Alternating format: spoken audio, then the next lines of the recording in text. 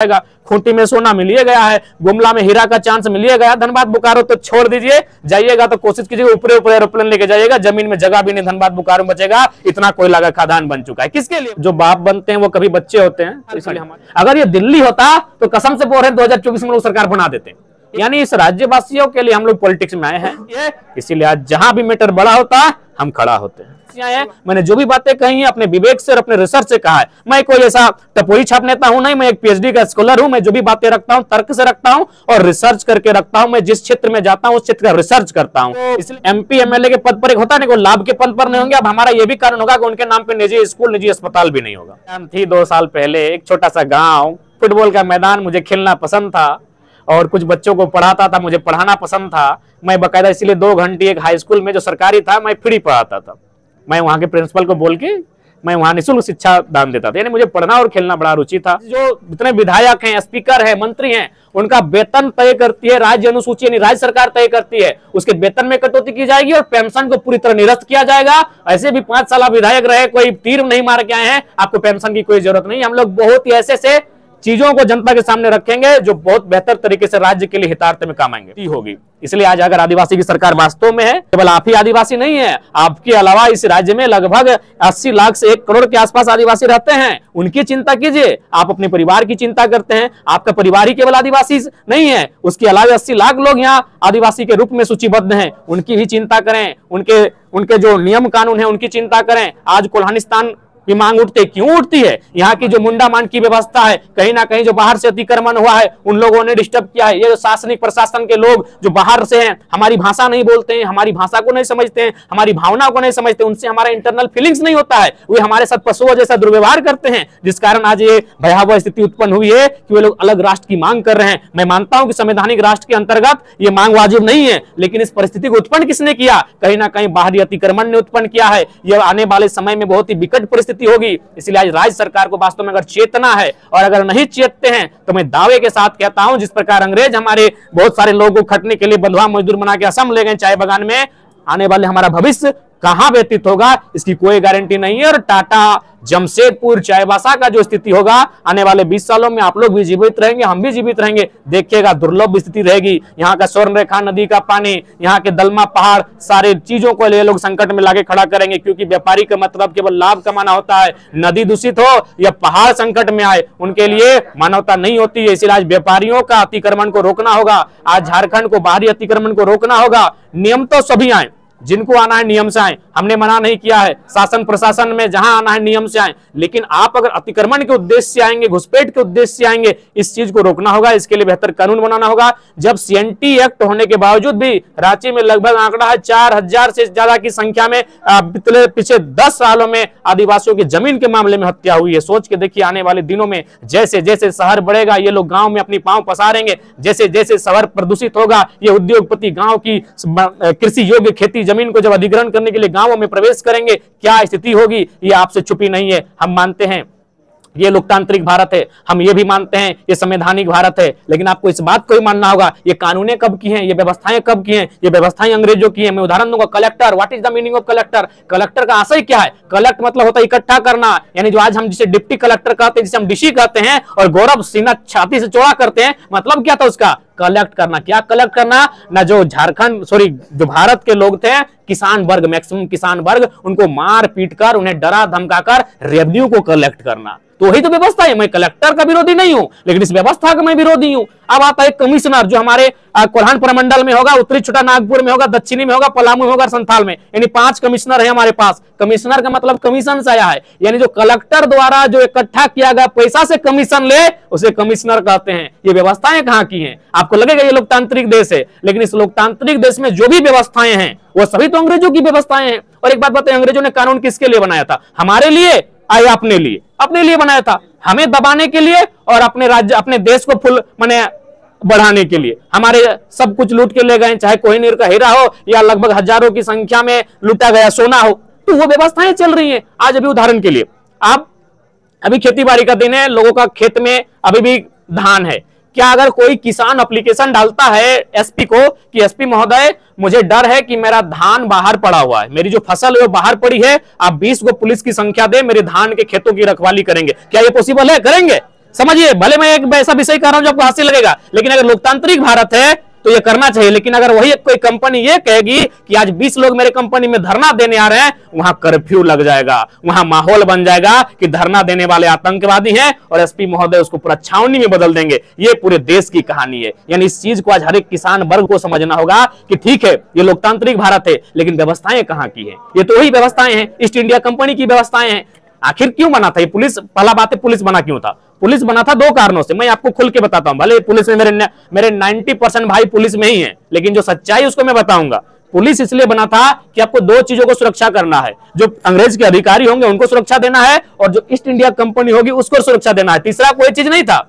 तीसरा कोई कारण नहीं था। आज भी देख लीजिए, आप किसी कंपनी में जाइए धरना देने, किसी कंपनी में बंदी कीजिए आप एसपी महोदय निगरानी करने के लिए हज़ारों पुलिस की संख्या में पहुँच जाएँगे। अगर डर होगा, अगर किसी आम आदमी का डर होगा, वहाँ प्रशासन लेट से पहुँचती है। अगर किसी पदाधिकारी को, चाहे जीएम रहे या फिर कोई हाई रैंक का उच्च अधिकारी रहे, पुलिस उसकी सुरक्षा में पहुँच जाती है। क्योंकि पुलिस जो, इंडियन पुलिस एक्ट जो बना ही था अठारह में, इसीलिए बना था कि दो चीज़ों को बचाना है। किसको बचाना है? ईस्ट इंडिया कंपनी को और जो हमारे गवर्नर हैं, जो बाइसराय हैं, जो कमिश्नर हैं, जो कलेक्टर हैं, उनको बचाना है। तो वही चीज़ें आज भी हो रही है। आज भी वही चीज़ें हो रही है। पुलिस तीसरे नंबर पर जनता की बचाव करती है। आज भी प्राथमिकता दो ही लोग हैं। उच्च अधिकारियों को अगर आप घेरिए, तुरंत पुलिस पहुँच जाएगी, आप पे लाठीचार्ज करेगी, आप गोली चार्ज कर देगी।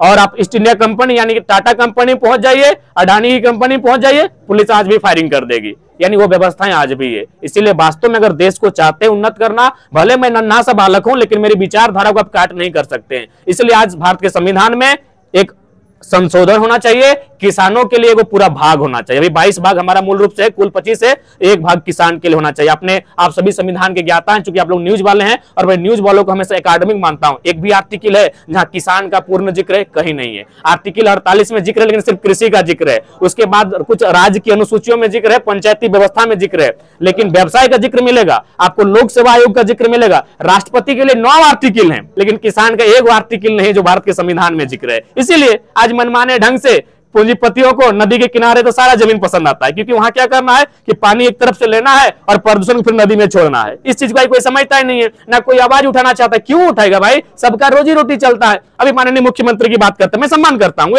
एक आंदोलनकारी के पुत्र है। बिल्कुल, विनोद बाबू के सबसे फेवरेट गुरु के पुत्र हैं। शिवभूषण के पुत्र हैं। लेकिन यह भी सच्चाई है, जब हाल ही फ़िलहाल उनकी एक दूर के रिश्तेदार की बहन का विवाह था, टाटा ने अस्सी लाख रुपए से उनका लाइटिंग का खर्चा दिया था। बताइए, माननीय मुख्यमंत्री टाटा को कैसे आँख दिखाएँगे? कैसे आँख दिखाएँगे? लॉजिकली बताइए। तो मेरे कहने का मतलब है, चाहे राज्य की बात हो या देश की बात हो, अगर चाहते हैं कि किसान बचा रहे, अगर चाहते हैं आदिवासी बचा रहे तो उसके लिए नेतृत्व ऐसा होना चाहिए, जो टाटा के चंदे से ना जाए। जनता के चंदे से चुनकर जाए, चलेगा। अगर वो टाटा के चंदे से जाएगा तो जमान नहीं खोल पाएगा। अभी हम लोग कुछ दिन पहले जो मीडिया बंधु हैं नाम क्या, सोशल संवाद, उन हाँ उनसे भी बैठे तो उन्होंने कहा कि आप तो बड़े हिम्मत वाले हैं कि आप टाटा पे भी मैंने कटाक्ष कर देते हैं। सांसद लोग का मुँह बंद हो जाता है। तो ये चीज़ें समझना होगा। आज अगर देश इन चीज़ों को नहीं समझता या राज्य नहीं समझता है तो हम भी ज़िंदा होंगे, आप भी ज़िंदा होंगे। 20 साल बाद स्थिति देखिएगा, क्या होगा? झारखंड एक खंडर के रूप में परिवर्तन हो जाएगा। खूंटी में सोना मिलिए गया है, गुमला में हीरा का चांस मिलिए गया। धनबाद बुकारो तो छोड़ दीजिए, जाइएगा तो कोशिश कीजिएगा, ऊपर ऊपर एरोप्लेन लेके जाइएगा, ज़मीन में जगह भी नहीं, धनबाद बुकारो बचेगा, इतना कोयला का खादान बन चुका है। किसके लिए भाई? क्या उन्नति किया देश ने? कितनी समानता आई, कितनी आर्थिक समानता आई, कितनी सामाजिक समानता आई, वो पैसा कहाँ गया? जरा बताइए। सारा पैसा लूट के विदेश लोग ले गए। सारा पैसा एक प्रतिशत लोगों के हाथों में आपने थमा दिया। इसलिए गांधी का भी वही कथन था कि एक ऐसी व्यवस्था हो कि मैक्सिमम नहीं, सभी लोगों को लाभ हो। सत्ता का हो या पैसा का हो या संपत्ति का हो, विकेंद्रीकरण होना चाहिए। हमारे पास सत्ता का भी केंद्रीकरण हो गया है और धन संपत्ति का भी केंद्रीकरण हो गया है। इसलिए अब ये हम पे डिपेंड करता है, क्योंकि बहुत सारे लोग ये भी सोचते हैं। जैसे मान के चलिए, मेरे ही हमने आंदोलन किया, मेरे एक साथी को जान किया गया। तो हम लोग बोलते हैं जो हमको जीना है, जी लेते हैं। लेकिन अगर हम लोग बदले की भावना से चलेंगे तो मुझे लगता है आने वाली पीढ़ी कम से कम सम्मान के साथ जी लेगी। यानी या तो हमारे नसीब में बेसर्मी होगी, या तो बलिदान होगा। दो चीज़ होगा। बेसर्मी इसलिए होगी कि अगर हम लोग आज नहीं लड़ पाते हैं तो हमारी आने वाली पीढ़ी हमें बेसर्म कहेगी। और अगर हम लोग लड़ लेते हैं तो हो सके दो चार जाने जाएँगी, हमें बलिदानी कहा जाएगा। तो दो ही ऑप्शन हमारे पास बचा है। तो हम लोग चूँकि पढ़े लिखे लोग हैं, इसीलिए हम लोग चाहते हैं एक बार अपनी आवाज़ को दिल्ली में उठाएँ, एक बार अपनी आवाज़ को पूरे राज्य में उठाएँ, उसके लिए हम लोग सदन में जाएँ और सदन में जाने की इसलिए तैयारी कर रहे हैं। बाकी जो गंभीर समस्याएँ हैं, मैंने जो भी बातें कही है, अपने विवेक से और अपने रिसर्च से कहा है। मैं कोई ऐसा टपोरी छाप नेता हूँ नहीं, मैं एक पीएचडी का स्कॉलर हूँ, मैं जो भी बातें रखता हूँ, तर्क से रखता हूँ और रिसर्च करके रखता हूँ, मैं जिस क्षेत्र में जाता हूँ, उस क्षेत्र का रिसर्च करता हूँ। इसलिए मैंने इस भविष्य को आपके सामने रखा है। और पीएचडी स्कूल का मतलब होता है दार्शनिक सोच का, यानी जो भविष्य को देखता है। मैंने झारखंड के भविष्य को आपके सामने रखा है। अब झारखंड के लोग क्या तय करेंगे, ये उन पे डिपेंड करता है। इसलिए मैं कहूँगा, अगर नेतृत्व भेजे, किसी को भेजे, बीजेपी से भेजे, आजसू से भेजे, जेएमएम से भेजे या कांग्रेस से भेजे, टाटा के चंदे से जो चुनकर जा रहा है, वैसे लोगों को रोकिए, वैसे लोगों को रोकिए। जो टाटा बिड़ला उषा मार्टिन, जो बीसीसीएल, सीसीएल के चंदे से जा रहा है, वैसे लोगों को रोकिए और नहीं रोक पाते हैं तो आने वाले दिन हमारी स्थिति बहुत भयावह होने वाली है। भैया, ये चुनौतियाँ हैं हमारे लिए, क्योंकि अचानक, सबसे पहली बात अभी भी लोग एक सवाल करते हैं कि आपकी पार्टी का रजिस्ट्रेशन क्यों नहीं हो? सके आप भी करें तो हम उससे पहले बता दें। हम लोगों ने पॉलिटिकली इच्छा नहीं रखा था कि हम लोग को पॉलिटिक्स में जाना है। एक छोटा सा आंदोलन था, पढ़ने वाले छात्र थे। मेरा एग्ज़ाम पोस्टपोन हो चुका था, इसीलिए उस आंदोलन में चले गए। और डेढ़ सालों तक, लगभग सवा सालों तक मुझे यह आभास नहीं था कि हम लोग को पॉलिटिक्स करना है। इसलिए हम अगर पॉलिटिक्स करना होता तो दो साल बीत चुका है। हम लोग का पार्टी का रजिस्ट्रेशन हमारे सामने होता। यानी इस राज्यवासियों के लिए हम लोग पॉलिटिक्स में आए हैं। इस बात को समझना होगा। और जब हम लोग आए हैं नए नए दल हैं। तो ज़ाहिर सी बात है, जो 2024 का लोकसभा आएगा, उसमें जब हम लोग प्रत्याशी देंगे, थोड़ी कठिनाई होगी। क्योंकि झारखंड दिल्ली नहीं है, मैं थोड़ा उदाहरण देना चाहूँगा। दिल्ली में क्या स्थिति है? लोकसभा का चुनाव आता है, सात की सात सीटें किसको जाती है? एनडीए को, यानी बीजेपी को चली जाती है। और जब विधानसभा आता है तो सत्तर में सड़सठ सीटें बीजेपी के उल्टा जाती है। यानी समझिए, दिल्ली नहीं है ये झारखंड। अगर ये दिल्ली होता तो कसम से बोल रहे दो हज़ार में लोग सरकार बना देते। ये दिल्ली नहीं है। यानी दिल्ली के लोग, समझिए वो जब लोकसभा में जाते हैं तो सारी सीटें एनडीए के साथ। लेकिन जब विधानसभा आता है बिल्कुल एनडीए के उल्टा एनडीए को धूल चटा देते हैं। वही दिल्ली के लोग वही थॉट्स वही माइंड वही लोग। लेकिन क्या होता है एक राज्य स्तर के लिए चुनते हैं एक देश स्तर के लिए। है बैक है इस बात की सच्चाई है। लेकिन आप अकेले उतरेंगे कि कोई किसी नहीं देखिए अकेले उतरेंगे तो ये स्वार्थी कहलाएँगे। और हम लोग अकेले उतरने का रहता तो हम क्यों आते हैं? रिस्क क्यों लेते हैं? एनडीए चाहे इंडिया गठबंधन से टिकट मांगते हैं। अरे उतना अगर और भी पार्टी को शामिल करके गठबंधन होकर उतरेंगे। देखिए गठबंधन नहीं देखिए हम लोग प्रयास क्या करेंगे कि सबसे पहली बात जो विचारधारा हमारा मेल खाएगी। अगर मान के चले इनमें से अगर मान के चले जेएमएम आईसू या कोई क्षेत्रीय दल हमारे साथ सपोर्ट देता आना चाहे मान लेते थोड़ी देर के लिए। तो सबसे पहले उनकी जो विचारधारा है उनके आपके पास सौ एकड़ ज़मीन है और आप कहिएगा हम किसान कहते सी हैं पूरे झारखंड में तीन एकड़ एवरेज ज़मीन है। तो पहले दान कीजिए ना संतानवे एकड़ ज़मीन। अगर वो ऐसा कर पाएँगे तो उनके साथ आएँगे।